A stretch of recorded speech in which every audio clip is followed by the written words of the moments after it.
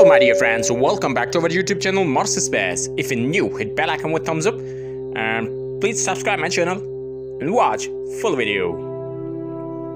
Mars rover released this stunning video footages of Mars surface. Here is a new video from NASA's Mars Perseverance rover. NASA's Mars Perseverance rover acquired these images using its left Mastcam Z camera.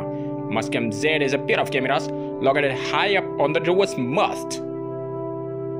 This is a much bigger area than Jezero crater itself, about 45 km across, and the rocks we see in the delta will inform us about a wide range of Martian process, and some rocks may even be older than the Jezero crater itself, about 3.9 billion years old.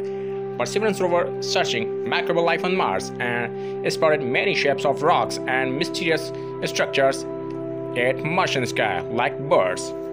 What's your ideas about these structures? Let me know right now. Like the video, share the video to your best friends. Thanks for watching.